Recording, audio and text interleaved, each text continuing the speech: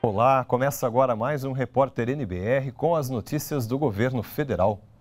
A balança comercial brasileira teve o melhor resultado dos últimos 29 anos.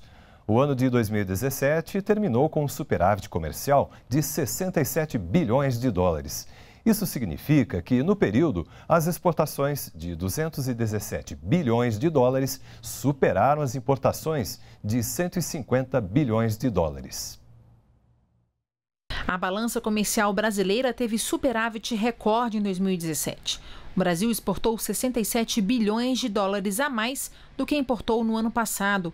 É o melhor resultado da série histórica, que começou em 1989. Em 2017, houve aumento tanto das exportações e das importações em relação a 2016. O ministro da Indústria, Comércio Exterior e Serviços comentou sobre o desempenho das exportações.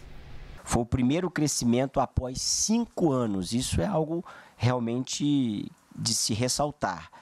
O aumento de 18,5% nas exportações e mostra esse crescimento desde 2011 é, extraordinário. China, Estados Unidos e Argentina continuam os principais parceiros comerciais do Brasil, mas houve considerável aumento nas vendas e compras de produtos para a União Europeia e o México.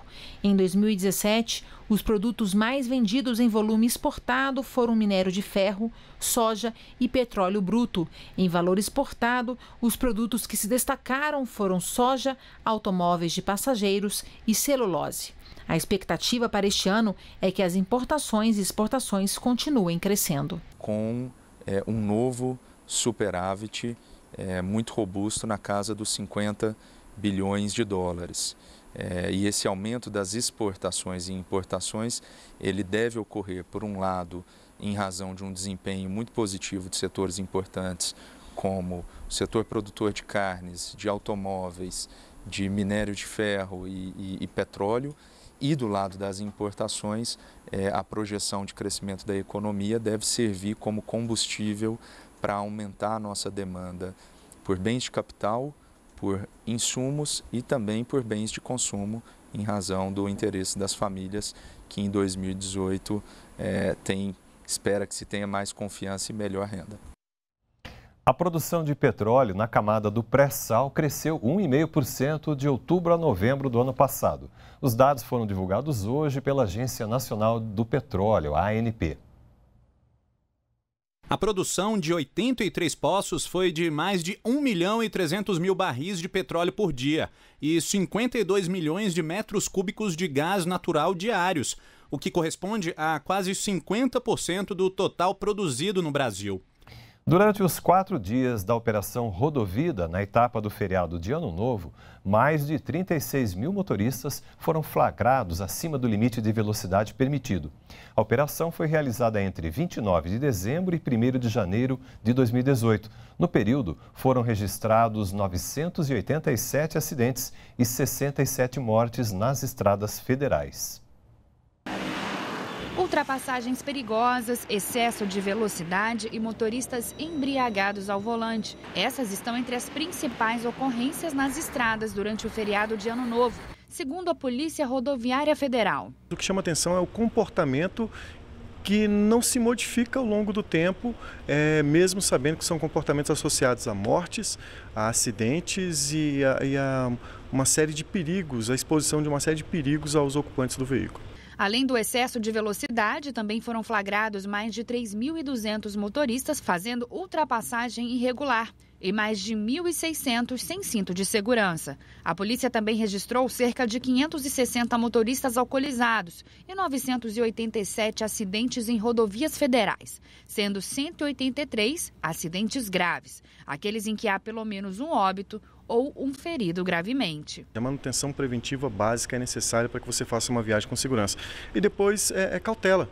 Cautela, nós temos um período de chuva, nós temos um período muito complicado agora de um fluxo maior, então cautela, não se exceda na velocidade, não use álcool, faça ultrapassagem somente em locais que você tem absoluta segurança, mesmo que a sinalização permita, você tem que fazer ultrapassagem somente quando você tem absoluta segurança. A Lei Orçamentária Anual, a LOA, foi sancionada pelo presidente Michel Temer nesta terça-feira. Segundo o texto aprovado, a receita estimada para 2018 é de mais de 3 trilhões e 500 bilhões de reais houve apenas um veto relacionado ao, relacionado ao recurso extra para o Fundo de Manutenção do Ensino Básico, o Fundeb. O presidente vetou esse recurso extra, lembrando que o fundo já tinha sido contemplado com um aumento de cerca de 14 bilhões de reais em relação a 2017. O texto será publicado amanhã, quarta-feira, no Diário Oficial da União. Já está valendo a tarifa branca. Com isso, quem consome menos energia nos horários de pico pode pagar menos na conta de luz. Secador de cabelo, chapinha, ar-condicionado, chuveiro elétrico e freezer.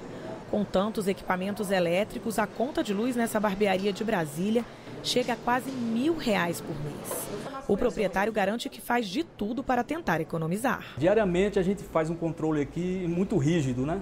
Em relação ao ar-condicionado, o funcionamento de, de, de secador. A gente orienta bastante nossos profissionais aqui para economizar. A partir de janeiro de 2018, consumidores com perfil dessa barbearia vão poder reduzir a conta de luz. É a tarifa branca que garante tarifas bem menores para quem consome energia elétrica fora dos períodos de pico. Qualquer eletrodoméstico ajuda, né? tem aqueles que consomem mais. E não é não consumir, é consumir ao longo do dia e nos finais de semana, no horário que é, diferente desse horário que nós chamamos de ponta. Na tarifa branca, o período mais caro vai das 6 da tarde às 9 da noite. O período intermediário vai de 5 da tarde até às 6 e das 9 da noite até às 10. Fora desses horários, a tarifa de energia elétrica vai ser mais barata. Feriados e finais de semana, o preço também cai para qualquer horário. A tarifa vai ser disponibilizada de maneira gradual. Quem tem um consumo médio mensal acima de 500 kWh já pode aderir em janeiro de 2018.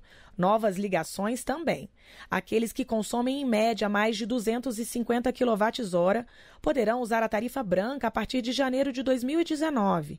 E em janeiro de 2020, a tarifa já vai estar disponível para toda a população. O consumidor deve pedir a adesão à nova tarifa. E caso não veja vantagem na redução da conta, pode voltar à tarifa normal um mês depois. A medida é uma alternativa para os consumidores reduzirem o gasto com energia elétrica, o que também favorece o sistema. Se você dilui esse horário, você acaba tendo uma necessidade de sistema menor, portanto, menos investimento, portanto, mais vantajoso para o sistema elétrico brasileiro e para a sustentabilidade de um modo geral. E o José Eriston já está contando os dias para aderir à nova tarifa. Tudo que vem para que dá retorno para o empresário, eu acho que é importante. Eu acho que deixa a gente até mais. É, faz com que a gente ainda fique mais atento para isso, porque a gente vai ver o resultado, né? Nós ficamos por aqui. Você pode rever as reportagens no YouTube e toda a nossa programação também está na página da NBR na internet. Continue com a gente aqui na NBR, a TV do Governo Federal.